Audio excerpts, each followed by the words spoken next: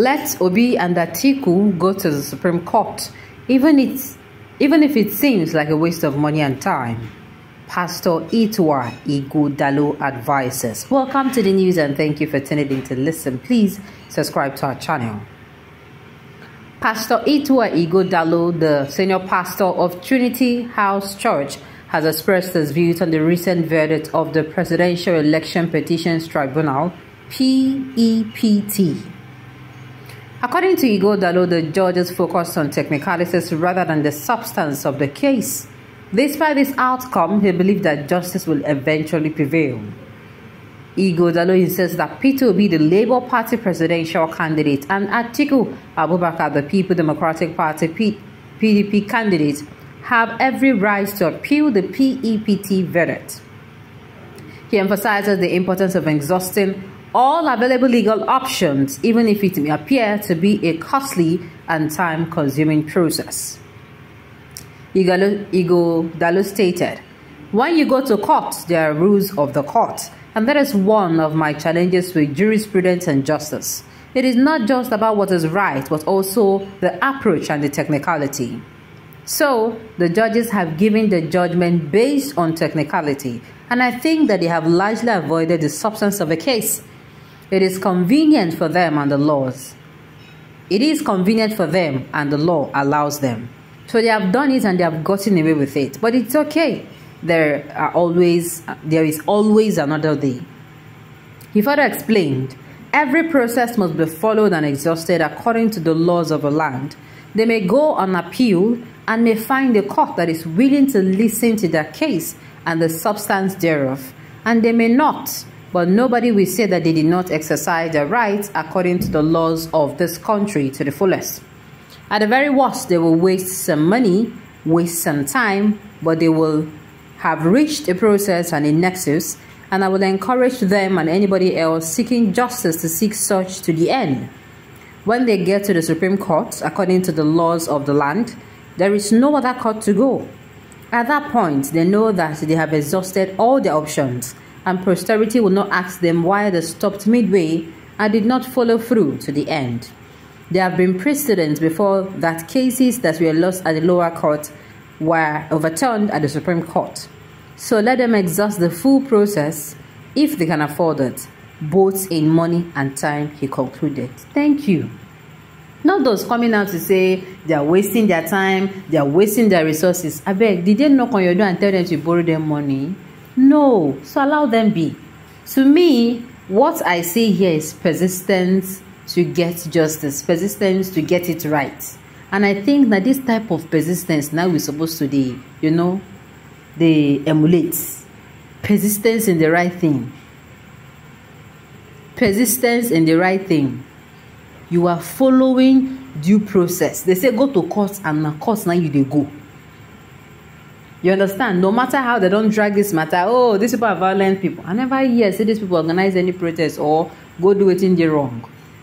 Do you get me? So those who are coming out to say, eh, eh, they're wasting their money, eh, they're wasting their time. Allow these people to waste their money. The money is their money. Time is their time. Allow them. Hmm? All right, let them go to the highest court, even though justice is denied of them. That will change and awaken many things in this country. Somebody is seeing things my somebody seeing things from my point of view, from my perspective, and it is very, very it is very nice to hear. At least it will help to know the kind of judiciary and politicians and INEC. Exactly. This is not just about uh, what's it called? This um, INEC. It is no longer about that. It is more about let us see if the judiciary is still the hope of the common man. If a widow now, I, I don't know, I like using the widow. For instance, if a widow is being threatened by her in laws, they are going to collect everything the husband worked for, and even maybe they even want to hold on to her kids.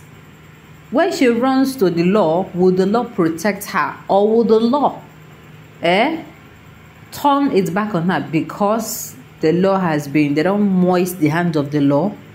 Now these things we define. We're looking for answers. This is way, way beyond this election. It goes, it goes deeper than this election. That's than this uh, uh, most recently concluded election.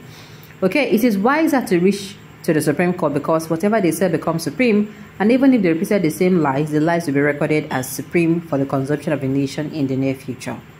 Alright, it is not unlikely that this pastor is a lawyer or has a legal background who may indirectly be working in favor of a fatback account for his learned friends on a litigation that will not yield any useful results. Well, I don't think so. I don't think so. Me, if then he, look, the pastor not say it is a must, but if they have the money and if they have the time. So me, it is pursuing something, pursuing something to the very end, so that if they ask you, you can beat your chest and say you fought well. You fought it to the last drop of your blood.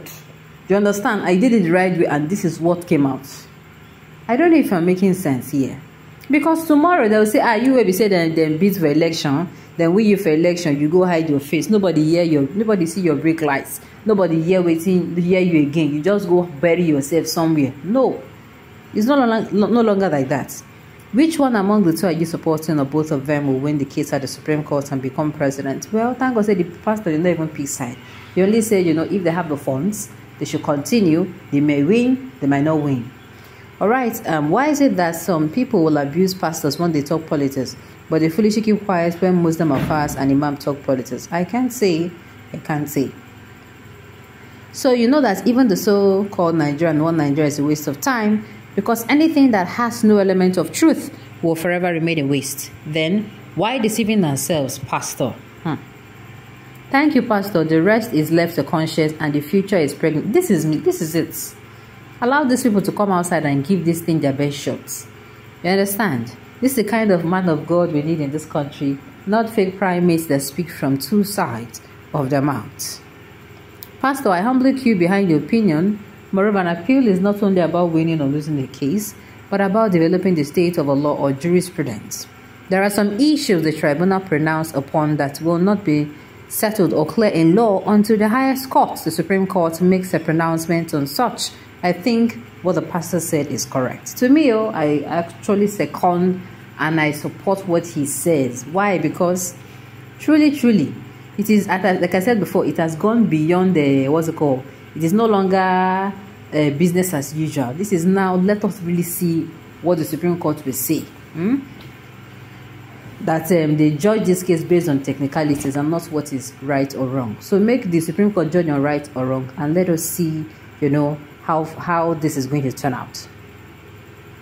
The vultures in the tribunal, the same vultures the Supreme Court, if the pastor will sponsor the waste of time and resources. Well, this pastor did not tell them that don't, don't, don't that they should go, but to me, it's fair. It's, it's, it's only fair that these people, they have the funds and they have the time. They go and get, you know, and get it done. All right, on this note, you have come to the end of the news. We say thank you for tuning in to listen. Until I come your way next time, enjoy.